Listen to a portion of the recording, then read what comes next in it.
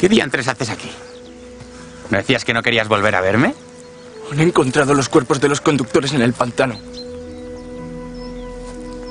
¿Y tú cómo lo sabes? ¿Por qué ha salido hoy en la prensa? ¿Sabes lo que eso implica? ¿No te das cuenta? Ahora saben que los conductores no fueron quienes robaron esos dineros. Ahora nos estarán buscando para acusarnos del robo y el asesinato. Vamos derechos al garrote vil. Maldita sea en la hora en que os hice caso.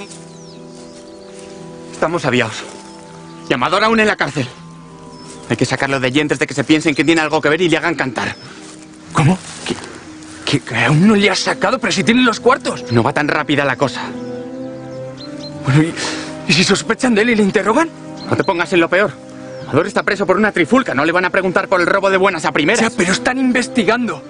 Alguien les hablará de que me vieron en la taberna donde estaban descansando los conductores. Ahora, te advierto, no pienso cargar con esto yo solo. Los que no vamos a cargar somos Amador y yo. En cuanto aparezca, cogemos por tante y no nos vuelven a ver por aquí nunca más.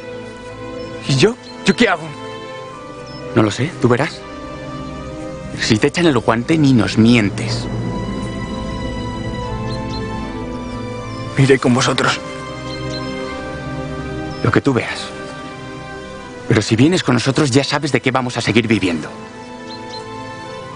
No ya habrá tiempo para hablar de eso.